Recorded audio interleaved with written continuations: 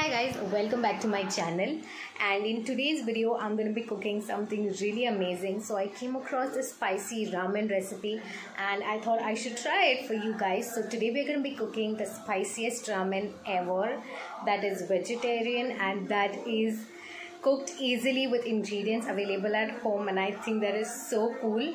First thing that you obviously need to do is you need to boil your ramen. So I'm to add approximately one and three fourth quarters of the ramen.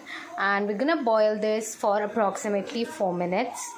Next thing in this pan we are going to heat up some oil. So i'm gonna take approximately like two to three teaspoons of oil. Oh my god. This is dangerous because i'm like logging with one hand. So i'm just gonna take this. Uh, you can see the oil has started heating up and what we're gonna do is we're gonna add garlic to this. So I have some chopped garlic right here. Just gonna add all of it in there. And I'm gonna saute this until it turns a little bit golden brown. You can see the garlic has turned brown. We're gonna add in chili flakes. And by chili flakes I mean a lot of chili flakes.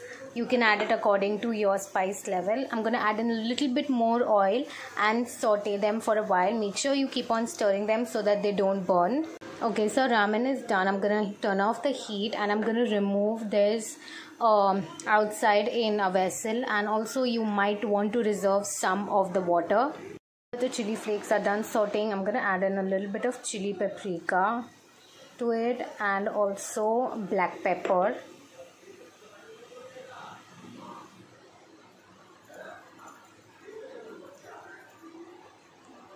step to this we're gonna add our ramen masala packet. So i have the maggi ka masala packet. So that's what i'm gonna add in. I'm gonna add this mixture. So now this is two tablespoons water one and a half teaspoon soy sauce and one teaspoon of brown sugar mix. And i'm gonna add all of this to the pan.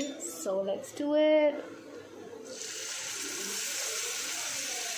And now we're gonna mix all of it in okay now you can see all of this is mixed in. Now we'll add our ramen to this. The ramen i've turned the heat off and now we're gonna mix all of this in. Oh my god you guys it just looks so beautiful. Abhi he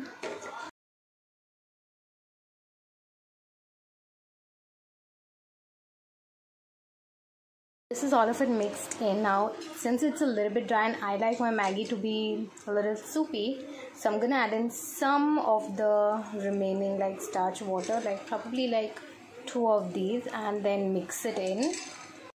This is how the noodles look. They look absolutely delicious. I'm gonna give it a taste test right now. Okay time for the taste test. I'm really excited. And these are like hot because we have removed them from the pan so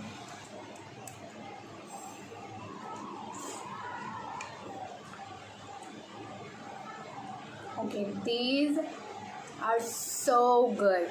So the spice doesn't hit you at first but towards the end i can feel the spice and i feel i can go a little bit more spicier. I could have added more chili flakes but these are amazing